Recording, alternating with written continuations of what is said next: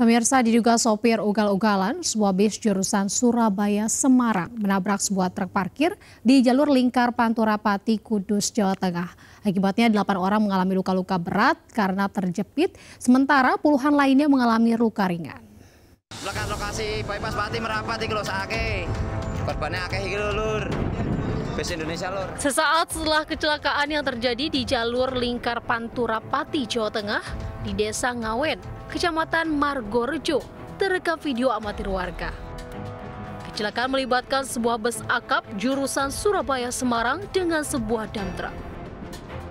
Para korban luka berat mengerang kesakitan dalam kondisi terjepit kendaraan yang ringsek. Sementara korban luka ringan segera berhamburan keluar dari bis. Menurut saksi mata, kecelakaan bermula ketika bis jurusan Semarang-Surabaya melaju dari arah barat menuju timur. Bus akap syarat penumpang tersebut melaju ugal-ugalan sejak keluar dari jalur Pantura Demak. Sampainya di lokasi kejadian, bis akan mendahului truk dari arah kiri. Namun nahas, sebuah dam truk tengah mengalami pecah ban di bahu jalan dan bis langsung menghantam bak truk. Tadi kan posisi di Demak itu sudah perjalanan sudah, sudah ngebut pak busnya. Dari Demak sampai Sudah sini ngebut ya? Iya, kecepatan tinggi terus Oh. penumpangnya sudah penuh.